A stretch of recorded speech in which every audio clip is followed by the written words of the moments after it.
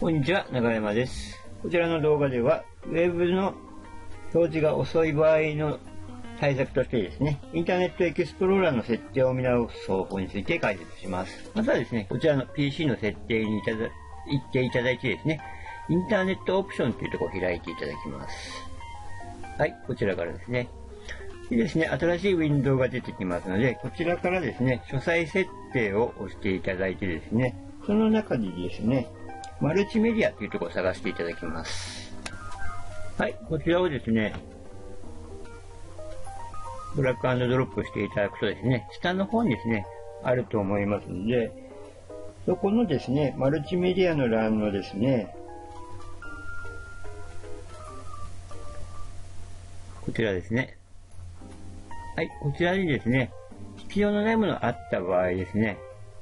こちらのチェックを外していただくことによってですね、表示速度が速くなる場合がありますので、もしインターネットエクスプローラーをお使いの場合はですね、こちらの設定を見直していただいて、あとこちら OK を押すだけで終わりますので、やってみてください。ということで、こちらの動画では、